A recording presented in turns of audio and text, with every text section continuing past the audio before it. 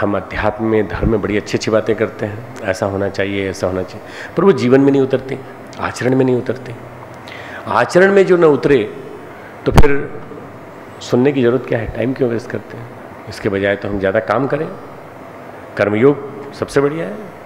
हमारे पश्चिम में देश, देशों में चले जाइए, ऑस्ट्रेलिया चले जाइए, जापान चले जाइए, चाइना चले जाइए। कर्मयोग में आसक्ति हम यदि कर्म करते, पैसा तो कमाते, कम से कम पैसा कमाते तो कुछ अपने पास समृद्धि आती, ये आती।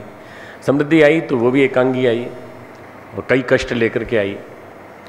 आज सबसे बड़ा रोग अगर देखा जाए तो वो है बेचैनी, तनाव, विक्षुब्धता। आज तीस साल का बच्चा हमारा, तीस साल का बच्चा मत कहिए चले वो युवा कह लीजिए।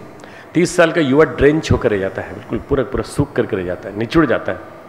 सारी ऊर्जा उसकी खत्म हो जाती है।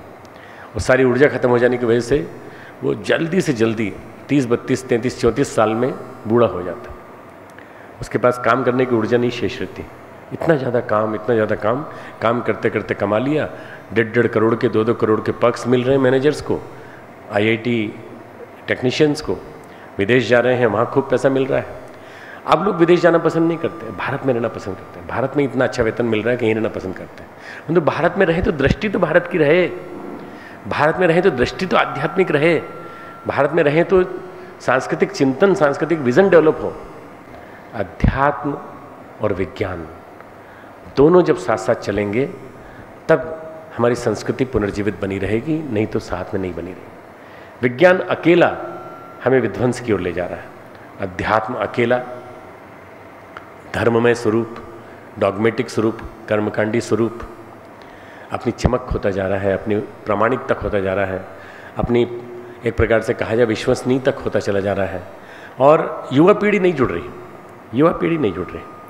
अगर आप चौवन करोड़ युवाओं को पूछें, चौवन करोड़ युवाओं में से कुछ गिने चुने संगठनों से जुड़े हुए लोग होंगे जो धर्म अध्यात्म को सही समझते हैं, नहीं तो धर्म अध्यात्म उनको वास्तव में अफीम की गोली मान मालूम पड़ता है। धर्म अध्यात्म उनको लगता है, ये हमारे लिए नहीं है, ये चालीस पचास साल की उम्र के बाद के लोगों के लिए। धर्म अध्यात्म का यदि व्यवहारिक स्वरूप समझ में आ जाए, धर्म अध्यात्म हमारे जीवन में, हमारे रोम रोम में कण कण में, हर श्वास में समाहित होना चाहिए।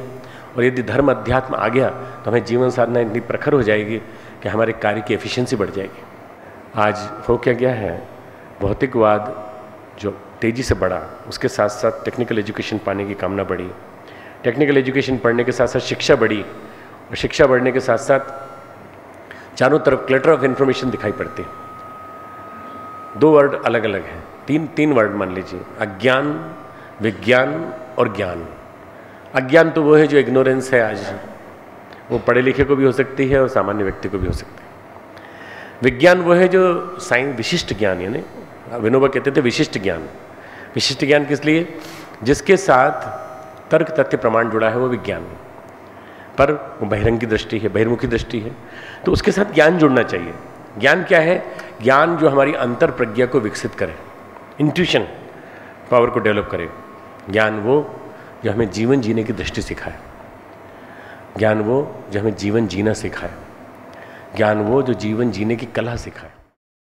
हमारे YouTube channel Shanti Kunj video Gayatri Parivar को सब्सक्राइब करें एवं बेल आइकन ज़रूर दबाएँ ताकि गायत्री परिवार की विभिन्न गतिविधियों की जानकारी आपको मिलती रहे।